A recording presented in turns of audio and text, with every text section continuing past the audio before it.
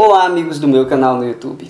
A terceira questão da prova objetiva de matemática do IME 2015 te fornece uma função de domínio e contradomínio real e pede que você marque a opção verdadeira. O item A diz que f não tem raízes reais. O item B diz que f é uma função ímpar. O item C, que f é uma função par. O item D diz que o módulo de f de x é menor que ou igual a 1. Já o item E diz que f é sobrejetura. Meus amigos, para julgar qualquer que seja desses itens, é bom que a função esteja expressa de uma maneira mais simples. É por isso que eu vou tentar simplificar os termos que aparecem envolvidos na definição de f de x. Por exemplo, o seno de 3x pode ser posto em função apenas de seno de x. E se eu fizer isso, eu vou poder simplificar o numerador. Então eu vou pegar aqui, vou começar escrevendo que o seno de 3x é a mesma coisa que o seno de quê? x mais 2x. x mais 2x é 3x. E agora eu vou utilizar o seno da soma. Seno de x mais 2x será seno x cosseno 2x mais seno 2x cosseno x. Seno A cosseno B, seno B cosseno A, como se aqui fosse o A e aqui fosse o B. Só que, meu amiguinho, o cosseno de 2x eu posso substituir por 1 menos 2 seno ao quadrado de x. Essa é uma das formas que eu posso escrever o cosseno de 2x. Eu posso escrever como cosseno ao quadrado de x menos seno ao quadrado de x eu posso escrever como 1 menos 2 seno ao quadrado de x e eu posso escrever como 2 cosseno ao quadrado de x menos 1. Então, tem três formas. Eu escolhi essa daqui com seno porque se adequa melhor à questão. Vejamos aqui, por exemplo, você tem 2x seno de 2x, isso é 2 seno x cosseno x, certo? Esse aqui é esse. Só que ainda tem esse cosseno aqui, então é cosseno ao quadrado de x. Aqui, cara, eu vou distribuir o seno de x. Seno de x vezes 1 seno de x. Seno de x vezes esse cara aqui, menos 2 seno ao cubo de x. Aqui eu posso entender esse cosseno ao quadrado que você tem aqui como sendo 1 menos o seno ao quadrado de x. É só utilizar a relação trigonométrica fundamental. Se o seno ao quadrado mais o cosseno ao quadrado é 1, então o cosseno ao quadrado é 1 menos o seno ao quadrado. E distribuindo, o que, que eu vou obter? 2 seno de x vezes 1, 2 seno de x. 2 seno de x vezes esse cara aqui, menos 2 seno ao cubo de x. Repare que aqui tu tem menos 2 seno ao cubo e aqui tu tem menos 2 seno ao cubo. Então, tu vai ter quanto? Menos 4 seno ao cubo de x. Aqui tu tem mais seno de x, aqui tu tem mais 2 seno de x.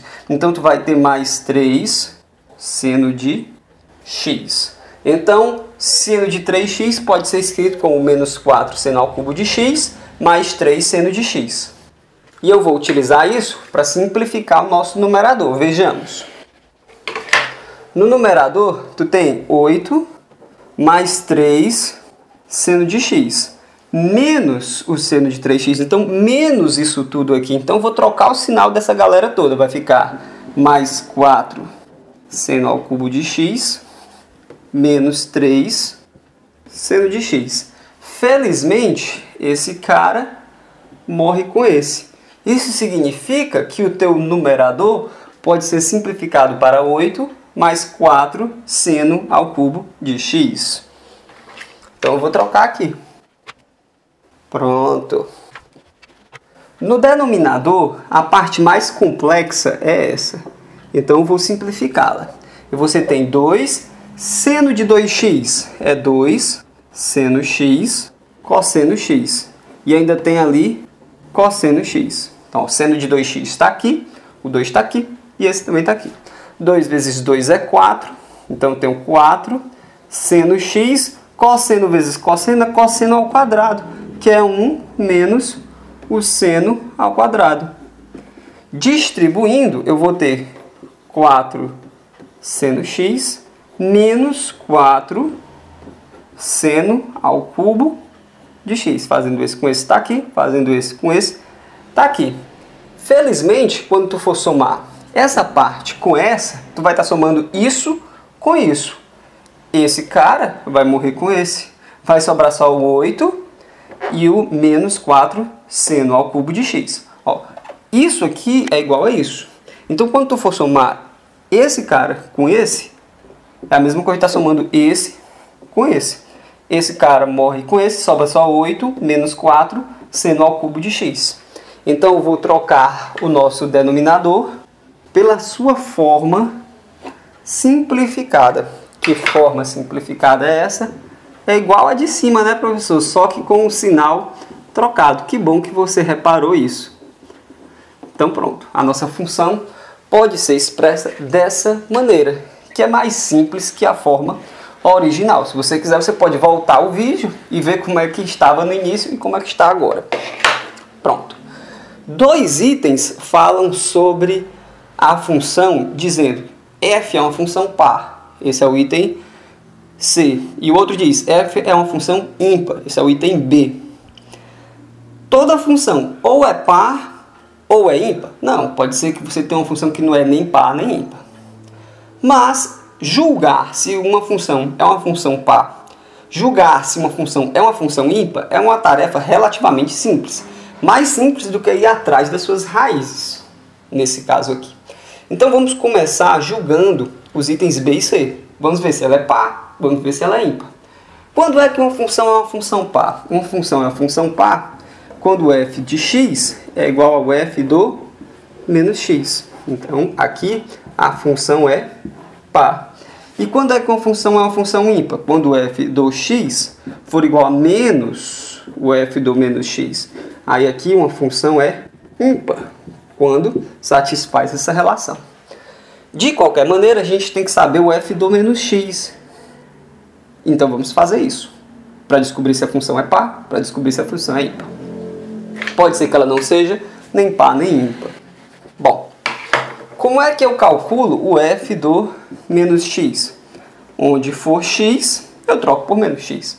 Então, no numerador, vou ter 8 mais 4 seno ao cubo de menos x. E no denominador, eu vou ter 8 menos 4 seno ao cubo do menos x. Também. Pronto, professor. E daí? Cara, o seno do menos x é a mesma coisa que menos o seno do x.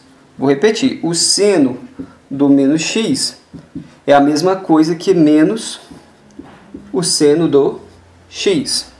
Só que aqui está ao cubo. Se tu eleva ao cubo, o que, que acontece? Vai ficar menos 1 ao cubo menos 1, seno ao cubo de x.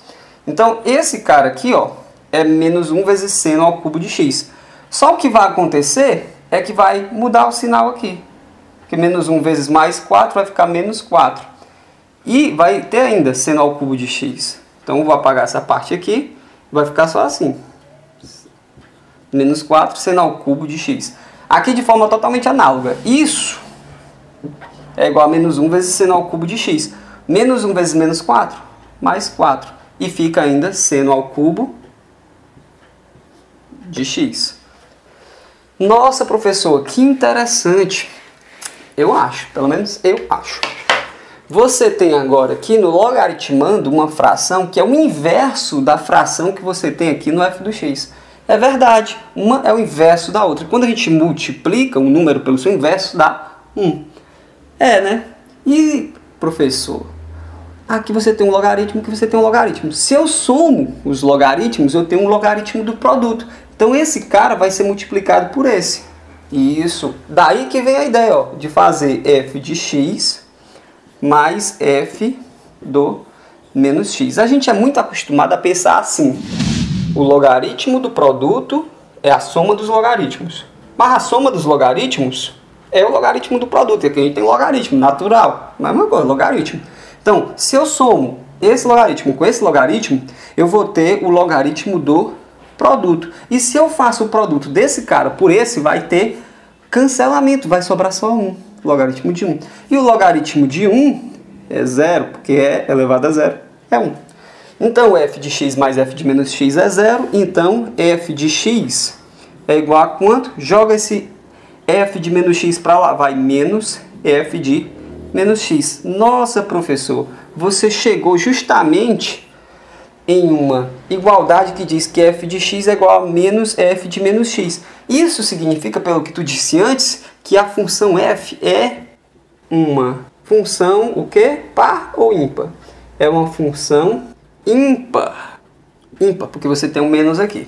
Então, f de x igual a menos f de menos x significa que f é uma função ímpar. É por isso, meu amigo, que o item correto é o item B. Eu espero que você tenha gostado desse vídeo, eu espero que ele tenha sido útil para vocês. Se foi, um abraço e até a próxima. Clique em gostei, não esquece. Tchau!